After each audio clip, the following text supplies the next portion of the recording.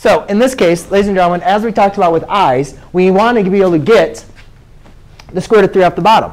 Now, think about this in general terms. Mario, you correct me. You're correcting me up. Think about this in general terms. All right? We cannot take the square root of 3, right? We cannot take the square root of 3. What types of numbers can we take the square root of? Whole numbers? Well, yeah, some whole numbers. What numbers can we always take the square root of, though? Square. Square numbers, right?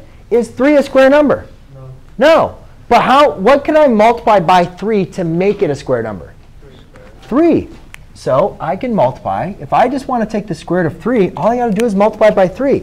But the problem is we can't multiply a number outside of a radical inside of a radical. So the only way to multiply 3 times 3 is to make this the square root of 3.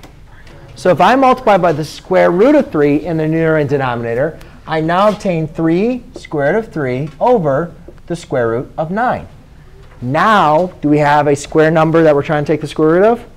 Yes. So my final answer is 3 square root of 3 over 3. The 3's divide to 1. And I have a final simplified answer of just square root of 3. You just wrote that in there.